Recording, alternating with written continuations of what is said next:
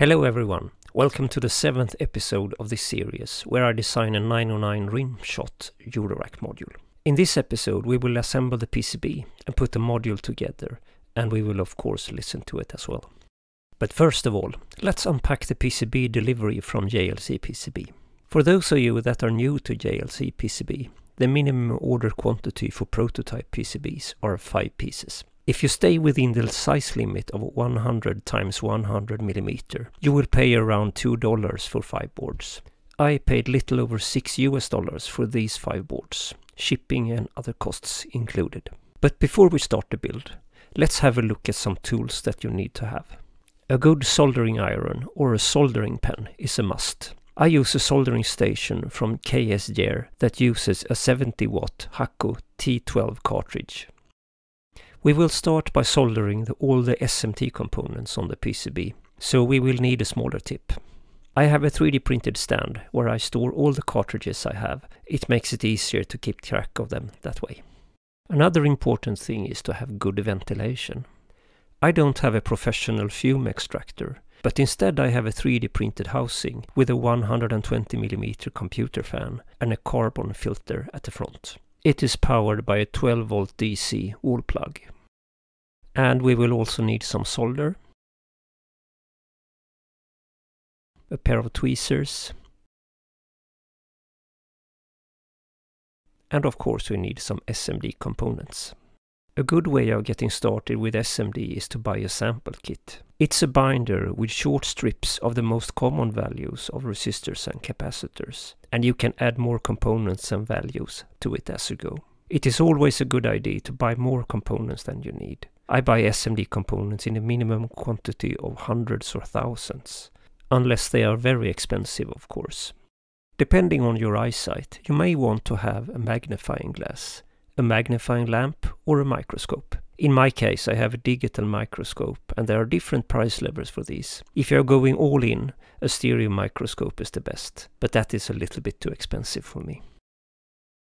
Okay, let's get started. Let's bring up the iBOM so we can locate the components and keep track of which components we have soldered in place.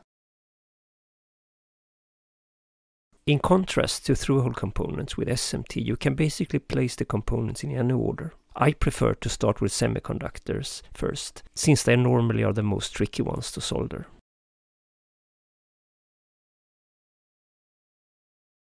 But there's no right or wrong here, you can basically do it any order you like.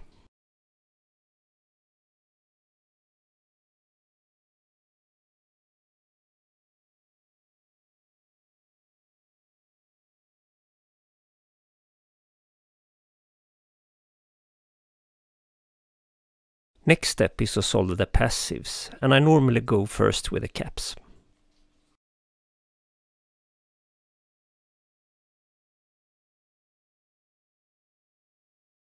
Finally, I mount the resistors to the boards.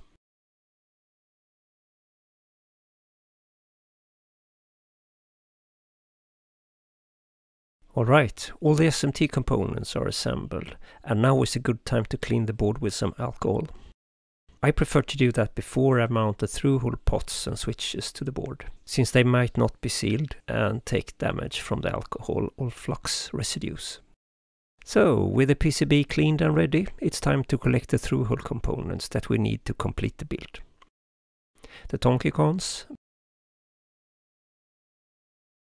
boxed header for a power, 10 microfarad electrolytic caps, 5k pots, cherry key, the key top, knobs, and finally our 3D printed panel. I'm using a larger tip for this and thicker solder wire.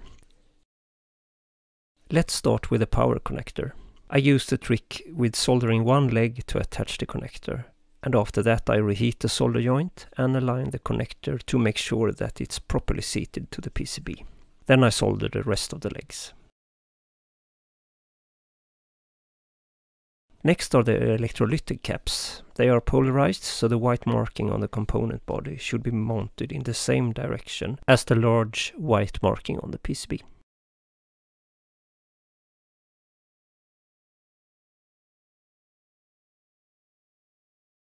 With the component side completed, we move on to the top side of the PCB, where all the pots, jacks and switches are located. Here I have a great help of the 3D printed panel to hold the pots and jacks in place while I'm soldering them to the PCB.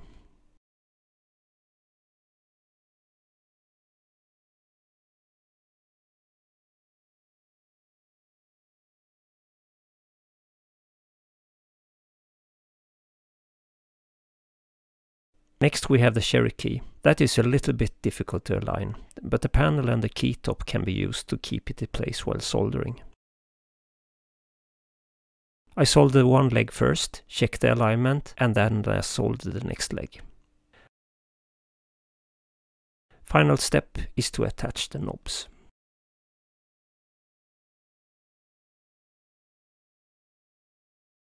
Before we power up the module, it's always a good idea to make a quick check for shorts on the power rails. Next we attach the power cable, turn on the power and check the power consumption. This module draws 10 milliamps on both plus 12 volt and minus 12 volt, which seems like a reasonable consumption for a design with three TL072 op amps. But without further ado, Let's plug it in and listen to it.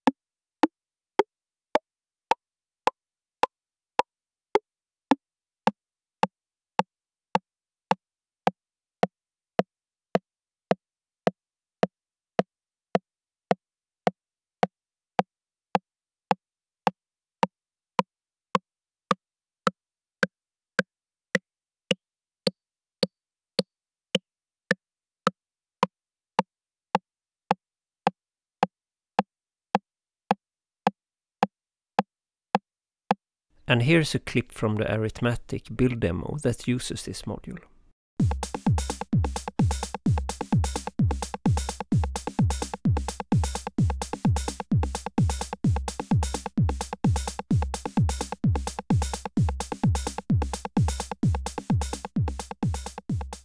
Okay, before we end this video, I would like to thank all of you that have watched this series and all of you that has commented and given feedback. I'm very grateful for that and I will take that with me in for the forthcoming builds.